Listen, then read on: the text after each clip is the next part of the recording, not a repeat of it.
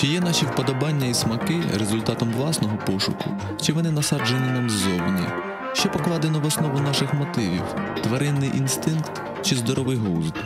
Чи здатні ми вплинути на процес прийняття доленосних рішень? На ці та багато інших запитань ми спробуємо відповісти. Я намагатимуся репрезентувати суттєві інтереси слухачів.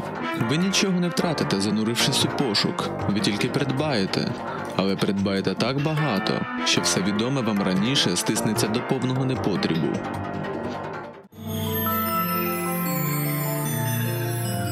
Дії людини завжди направлені на ліквідацію внутрішнього дисбалансу, конфлікту між реальним станом справ та їх ідеальним образом.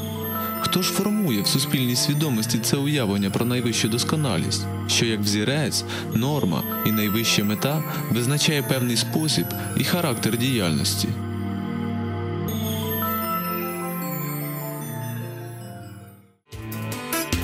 Нічого не буває вбогим само собою.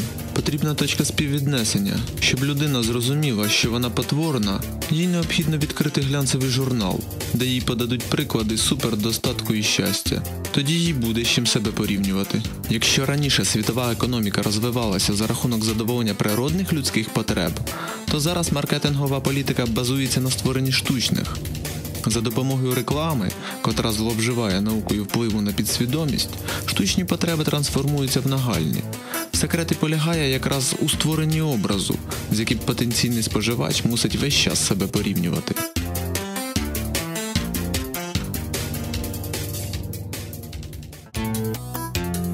Виходить, що людина відчуватиме себе нещасною до тих пір, поки не реалізує в житті образ, насаджений виробниками товарів та послуг.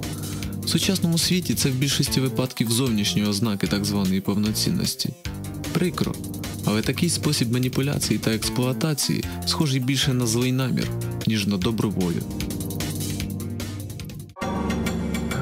Новий тлумачний словник української мови тлумачить слово щастя як стан цілковитого задоволення життям, відчуття глибокого вдоволення і безмежної радості. Філософи ж давнини стверджують, щастя полягає у відсутності бажань.